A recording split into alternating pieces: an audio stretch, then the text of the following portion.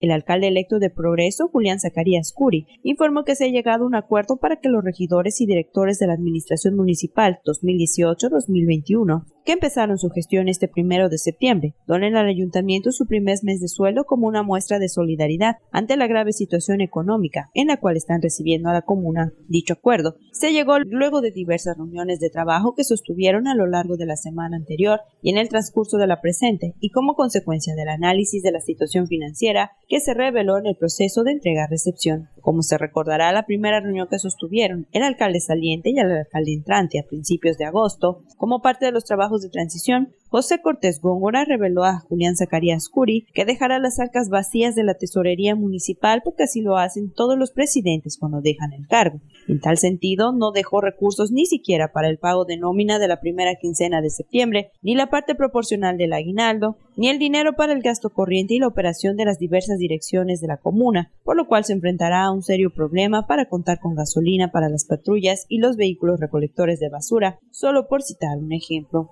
Según Zacarías Curi, todos los regidores, incluyendo los del PRI y la de Morena, estuvieron de acuerdo en donar su sueldo el primer mes para solventar las necesidades apremiantes del ayuntamiento y, en tal sentido, no parar operaciones y labores. Para transparentar este asunto, informó que firmarán un oficio de donación de su sueldo y el término de septiembre. Se informará públicamente el monto de lo recaudado y la manera en cómo se aplicó dicho recurso. Esta información será pública y estará al alcance de todos los ciudadanos, ofreció el primer edil. Con imágenes e información de David Correa, Notivisión.